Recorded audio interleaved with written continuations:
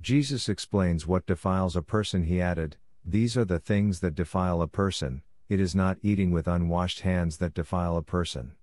Matthew 15 10 20, Mark 7 1 23, Luke 11 37 41.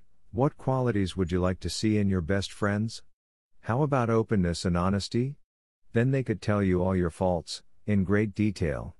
Would you like that? Hmm. Perhaps not in every little detail, I hear you say, everyone still wants to feel good about themselves and be encouraged to achieve their best. Jesus didn't hide his feelings about the Pharisees. He openly criticized them for their hypocrisy and neglecting God's command while sticking to old traditions such as the ceremonial washing of hands before meals. Jesus called a crowd to him and said, Listen and understand. What defiles a person, makes him unclean, is not what goes into the mouth, it is what comes out of the mouth that defiles a person. When Simon Peter asked what he meant by this, Jesus explained, Whatever goes into the mouth enters the stomach. But the things that come out of the mouth come from the heart, and these things defile a person.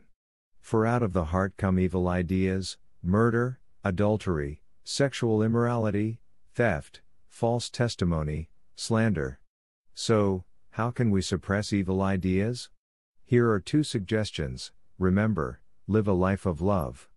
God and our friends look inside our heart, not outside at our portrait. Lord Jesus, thank you for your love and mercy.